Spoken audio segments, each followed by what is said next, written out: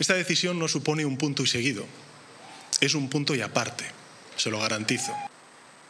Muy buenas noches y bienvenidos a Con España Vueltas. Como saben, el presidente del Gobierno decidió seguir adelante como estaba planteado porque como decía el alcalde, no se iba a ir ni con agua caliente. Eso sí, dice que no es un punto seguido, sino un punto y aparte. Es decir, que va a haber cambios, que llega con el rodillo puesto. ¿Y en qué consiste el rodillo?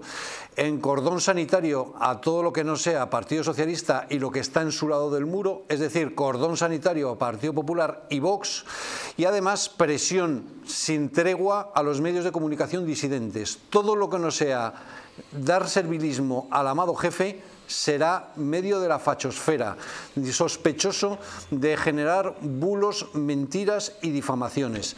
Eso sí, sin código penal, sin querella ninguna, simplemente con el desprestigio desde el Ministerio de eh, Presidencia y desde el Palacio de la Moncloa. Preocupante el escenario que se presenta por delante para España con un presidente enrocado en la presidencia de gobierno, sin rumbo claro, sin presupuestos, con unos aliados que todavía siguen siendo una incógnita y con el rodillo absolutamente preparado para dinamitar la democracia. Y es que eh, el presidente Sánchez ya ha advertido que lo que plantea es el cordón sanitario. Recuerdan que en su momento se planteó el cordón sanitario para los herederos de ETA, para Batasuna o Ibidlu. Después dijeron que no, que para la extrema derecha, para Vox. Ahora también se suma el Partido Popular a ese cordón sanitario. Fuera del PSOE no hay salvación. Escuchen sino que me tenéis dispuestos a hacer frente a la máquina del fango de Feijó y de Abascal. Algunos ya advirtieron que después del cordón sanitario Vox llegaría el cordón sanitario al Partido Popular. Ya lo tenemos. Incluso se está planteando que con Partido Popular negociación absolutamente ninguna en Cataluña, tampoco para la renovación del Consejo General del Poder Judicial. Yo le advertí a Ferreras, que casi casi es el portavoz oficioso del Gobierno, que dijo que si Sánchez seguía en el Gobierno vendría el rodillo preparado. Si se queda, estoy convencido, muchos en el eh, Partido Socialista dicen, si se queda, va a ir muy fuerte con la renovación del Poder Judicial, con los medios de comunicación. Y tan fuerte, y es que desde el mismo lunes ya se empieza a amenazar algunos medios de comunicación, como estado de alarma, el debate, pero es que hay varios que ya han sido señalados, como el Confidencial, Voz Populi, de, de Objective, etcétera, etcétera. Es realmente preocupante porque todo lo que no sea servilismo a lo que Óscar Puente llama el puto amo, si me permiten la expresión, es calificado de mentiras, bulos y difamaciones.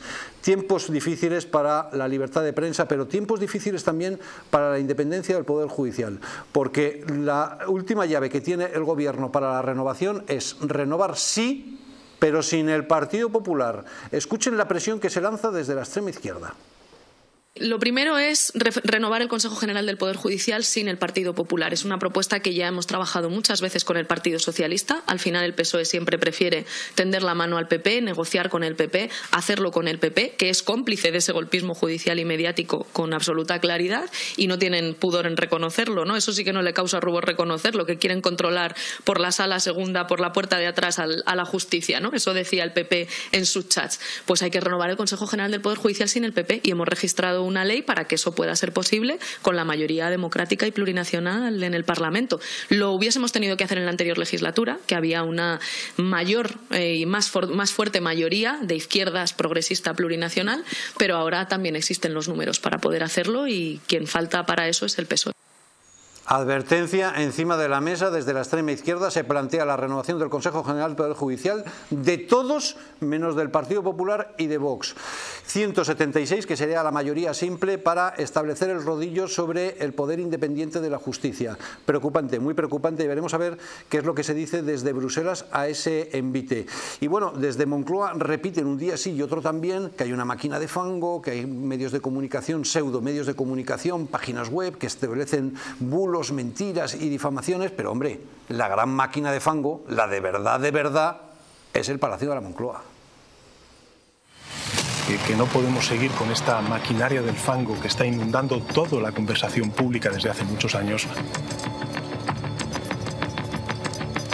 Yo en todo caso sí que creo que Puigdemont tiene que rendir cuentas ante la justicia española. El rechazo a la desinformación y a los bulos que están inundando, por desgracia, el debate público. Nosotros no vamos a subir los impuestos a la clase media trabajadora. Los bulos y en la desinformación. ¿Qué sentido tiene que un político indulte a otro? Ninguno, absolutamente ninguno. Y yo siento vergüenza de eso. Desinformación y de estos bulos. El acatamiento significa su cumplimiento. Esta maquinaria del fango, como ha hecho el Partido Socialista, por ejemplo, en Pamplona, Pamplona no dando la alcaldía a Bildu. Esos, esos bulos y esa desinformación. También la mentira. El independentismo lo que pide, y lo saben ustedes, que es la amnistía.